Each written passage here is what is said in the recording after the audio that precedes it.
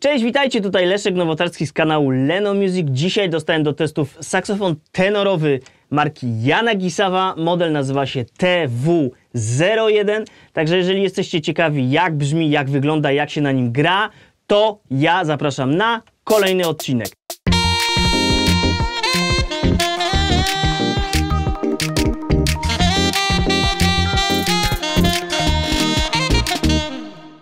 Jak już wspomniałem we wstępie, dzisiaj będę testował saksofon tenorowy. Jest to marka dobrze, mam nadzieję, wszystkim znana. Jedna z tych topowych światowych nazywa się Yanagisawa z mojej ulubionej tak zwanej czwórki, czyli Zelmer, Yamaha, Calvert oraz Yanagisawa.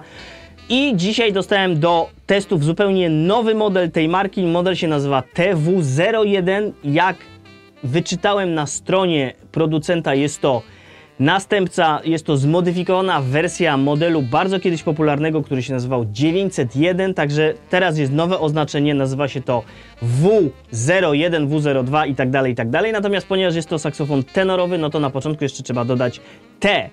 Postanowiłem dzisiaj, że ten test podzielę na pięć głównych kategorii. Pierwsze to będzie ergonomia, czyli to jak przedstawia się wygoda grania na tym instrumencie. Drugi podpunkt to będzie strojność tego saksofonu, czyli przetestuję najbardziej newralgiczne miejsca, w których saksofon może nie stroić, w których ma pewne głuche momenty, miejsca, w których większość saksofonów ma swoje słabe punkty. Potem trzeci punkt będzie to przetestowanie rejestru dolnego oraz przetestowanie altissimo i na końcu zobaczymy już jak ten saksofon brzmi, czyli na początku takie suche nagrania, suche ćwiczenia, a potem już podzielę się z Wami nagraniami z sekcją rytmiczną, jak ten saksofon miksuje się wraz właśnie z y, sekcją rytmiczną w różnych gatunkach muzyki. Zatem zaczynamy teraz punkt numer jeden, czyli ergonomia. Jak większość saksofonów firmy Jana Gisawa, ten saksofon już czuje, że jest bardzo wygodny. Rzeczywiście producent zapewnia, że zostało poprawione tutaj kilka kwestii. Przede wszystkim tutaj te flapy boczne, czyli te klapy. I rzeczywiście wydaje się, że jest to tutaj zrobione już bardzo pod palcami. Saksofon jest bardzo, ale to bardzo wygodny, tak jak większość właśnie saksofonów Jana Gisawa. Także jeżeli tutaj chodzi o ergonomię, to wszystko jest blisko rąk. Tutaj nie wystają te boczne flapy. Również nie mam tego problemu, który kiedyś miałem w niektórych saksofonach, to, że piąty palec zahaczał tutaj mi o roztrąb. Rzeczywiście klapy są idealnie pod palcami. Nic tutaj nie wymaga ode mnie jakichś większych y, wysiłków w celu uzyskania poszczególnych chwytów na tym saksofonie. Także ergonomia uważam jak najbardziej na plus. Na co tutaj zwróciłem również uwagę na to, iż firma Jana Gisawa poprawiła trochę futerał. Kiedyś firma Jana Gisawa dawała takie brzydkie skrzynie, takie futerały, które nie miały w ogóle opcji szelek, nie miały opcji jakiejś założenia tego na plecy. Dzisiaj jak widzimy ten futerał jest ładniejszy, ma opcję szelek, także tutaj duży plus dla firmy Jana Gisawa, która również poprawiła kwestię wyglądu zarówno saksofonu, jak i futerału. W zestawie jest również ustnik, który domyślnie tutaj firma dała, natomiast ja nie będę tego ustnika tutaj prezentował. Myślę, że wszystkie testy wykonam na swoim własnym ustniku, czyli to będzie Guardala Studio, na którym gram na co dzień. Kolejna kwestia, jak wspomniałem, to już będzie test tutaj e, newralgicznych miejsc w tym saksofonie, czyli e, przede wszystkim przetestuję e, środkowe cis, przetestuję środkowe D, bo jak wiemy w wielu kwestiach właśnie na saksofonie jest tutaj problem, że ten saksofon potrafi nie stroić. Także teraz zobaczmy jak wygląda sprawa już tutaj z brzmieniem newralgicznych miejsc właśnie na tym saksofonie.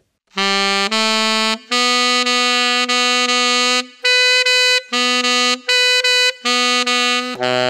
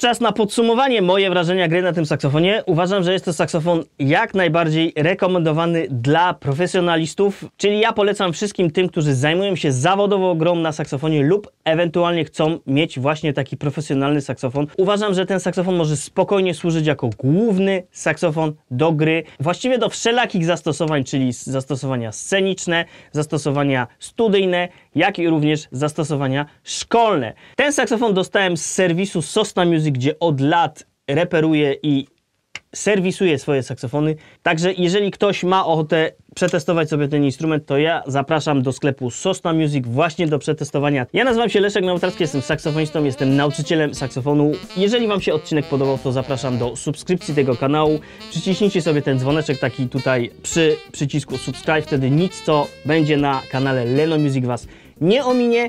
A ja zapraszam na mój kanał, zapraszam do polubienia tego filmu, jeżeli się podobało. Komentujcie, udostępniajcie, lajkujcie i mam nadzieję, że widzimy się następnym razem. Zatem do zobaczenia!